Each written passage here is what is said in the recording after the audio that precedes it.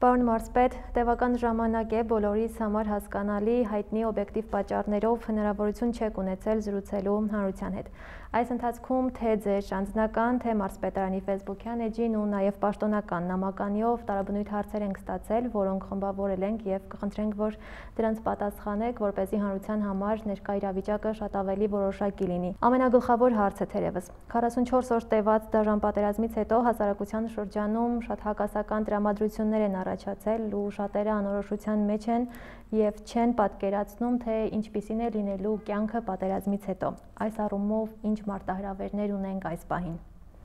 Նախ ուզում եմ խոնարհումը բերեմ մեր զոհված զինծառայողների հիշատակին եւ նրանց ընտանիքներին շուտապույտ առողջություն մաղթել մեր վիրավոր զինծառայողներին եւ նաեւ անհայտ կորածների եւ գերիների հետ կապված շուտապույտ խնդիրների լուծում, որովհետեւ կարծում եմ ամենա առաջին առաջնային խնդիրը հենց դա է շատ զգայուն եւ կարեւոր խնդիր է եւ նաեւ ասպես ասեմ անընդհատ մեր արժանապատվության հետ առնչվող խնդիր է եւ մենք պետք է օր առաջ այդ խնդիրը լուծենք մարտահրավերների առումով իհարկե պատերազմից հետո մենք ունենք բազում մարտահրավերներ եւ կարծում եմ պետք է որոշակի ժամանակ ամբողջությամբ ընկալելու այն խնդիրները, որը ունենք եւ ապագայում ցավոք սրտի դեռ ունենալու ենք։ Բայց ամենակարևորը այսօր կարծում եմ մեր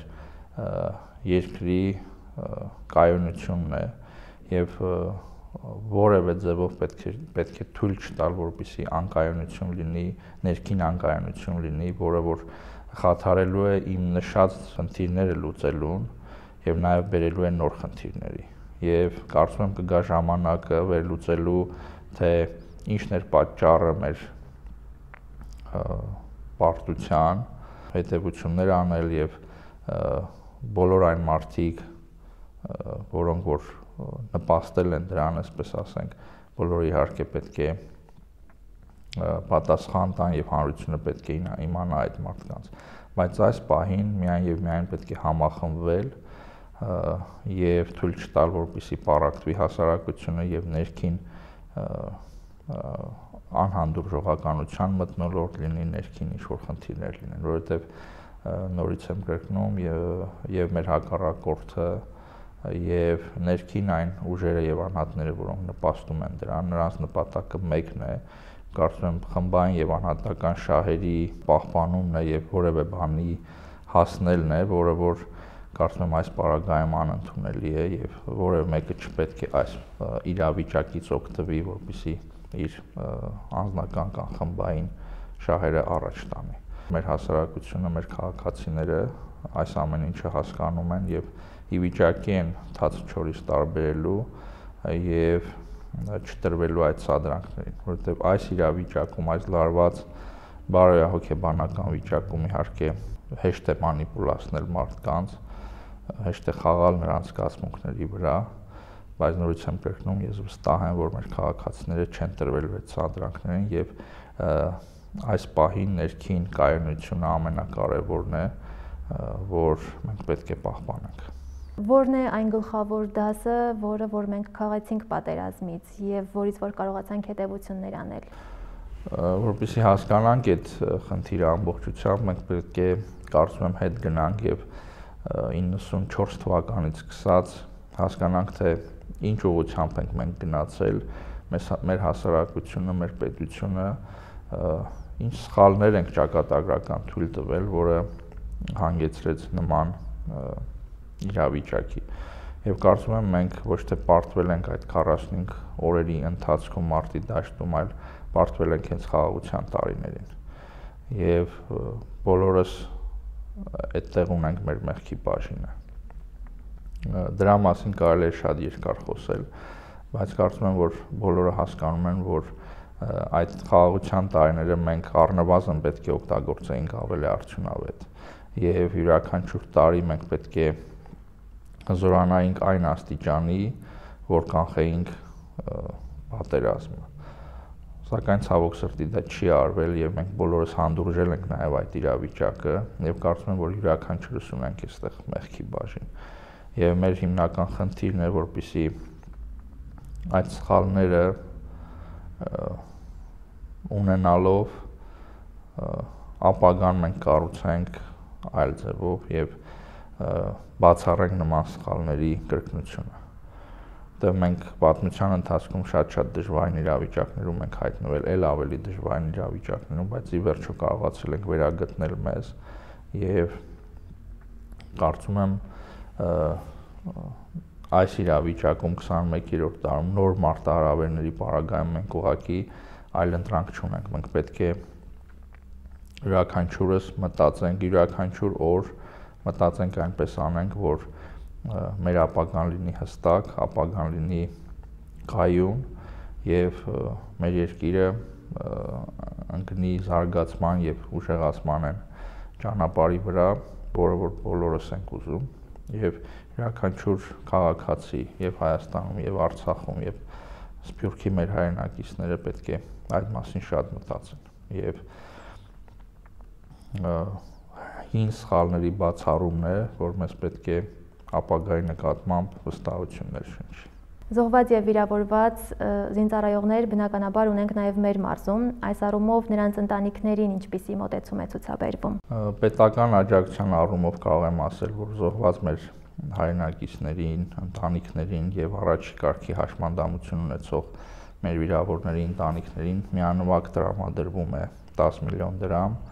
այնուհետև ամսական 200-ից մինչև 300 հազարական դրամ փաստաթղթերի հավաքման այդ process-ը մարզպետարանը մարզպետարն է իրականացնում եւ այդ փաթեթը փոխանցում է պաշտպանության նախարարության այդ գործընթացը արդեն սկսվել է եւ արդեն կան ընտանիքներ, որոնք ստացել են այդ դրամական աջակցությունը դրանից երևի ոչ պակաս կարևոր կամ ավելի կարևոր է հենց այդ ընտանիքների նկատմամբ մեր հասարակության եւ նաեւ մեր վերաբերմունքը այդ ընտանիքները պետք է լինեն անընդհատ պետք է լինեն ուշադրության կենտրոնում եւ դա նույնպես շատ կարեւոր խնդիր է այդ ուղղությամբ մենք նույնպես պետք է աշխատենք մարզպետարան անձամբ ես այդ ընտանիքների հետ պատրաստվում եմ անընդհատ կապը պահել եւ ցանկացած խնդրի դեպքում իհարկե պատրաստ ենք աջակցել այդ ընտանիքներին, լինել այդ ընտանիքների կողքին։ Պատերազմի առաջին իսկ օրերից մեծ թվով բարերարներ սերտորեն համագործակցել են Դորու մարզպետարանում ձևավորված համակարգման կենտրոնի հետ։ Ինչպես է այս կենտրոնը ձևավորվել եւ տարբեր անհատների ու կազմակերպությունների հետ համագործակցությունը ինչպես է համակարգվել։ Կենտրոնի անհրաժեշտությունը առաջացել է հենց պատերազմի առաջի օրվանից, որովհետեւ բազմաթիվ կազմակերպություններ եւ անհատներ ունեին ցանկություն ներգրավելու այս process-ի մեջ եւ որևէ ձևով աջակցելու եւ ռազմաճակատին եւ արդեն տարհանված Արցախից տարհանվող մեր հայրենակիցների խնդիրները լուծելուն եւ մեզ հաջողվեց այդ դերակատարությունը վերցնել մարզում եւ ստեղծել այդ համակարգ համակարգող խումբը աշխատանքային խումբը եւ կարող եմ ասել որ այդ խումբը այդ մարդիկ այդ կազմակերպությունները ահռելի մեծ աշխատանք են կատարել եւ կարծում եմ առանձին առիթ կլինի դրա մասին խոսելու եւ անդրադառնալու եւ նաեւ ասեմ, որ այդ աշխատանքային խումբը գործում է մինչեւ այսօր, որովհետեւ դեռևս կան բազմաթիվ խնդիրներ եւ աջակցության շատ-շատ ոլորտներ։ Ուզում եմ նշեմ նաեւ, որ տարհանվածների մասով եղել է այդ աջակցություններին զուգահեռ պետական միջոցներով մենք սննդի փաթեթների գնումներ ենք իրականացրել եւ իրականացնելու ենք ապագայում հազարավոր մեր արցախցի հայրենակիցների եւ բնակարանային եւ հագուստի եւ սննդի խնդիրները հնդածած լուծվում են եւ լուծվել են եւ չի եղել որևէ խնդիր այդ առումով նաեւ ուզում եմ շնորհակալություն հայտնեմ համայնքապետարաններին այս խնդրի այս խնդրին աջակցման առումով եւ շատ դեպքերում հենց տեղում են այդ հարցերը կարգավորում եւ մեր միջամտության կարիք չի լինում։ Ձմռան շրջանի հետ կապված կոմունալ վճարների հետ կապված նախատեսվում է նաև փոխհատուցում։ Գիտեք, որ այդ տարհանված քաղաքացիները ստանում են 68 հազարական դրամ միանվագ դրամական օգնություն եւ նաեւ 300 հազարական դրամ օգնություն այն ընտանիքները, որոնք տարհանվել են Արցախից եւ հնարավորություն չունեն վերադառնալու իրենց բնակավայրերը Սրա հետ կապված ուզում եմ նաև նշել, որ սկսվել է արդեն յետ վերադարձի գործընթացը եւ դա նույնպես կազմակերպվում է մեր կողմից եւ շուրջ 500 արցախցիներ արդեն վերադարձել են Արցախ եւ այդ գործընթացը շարունակական է եւ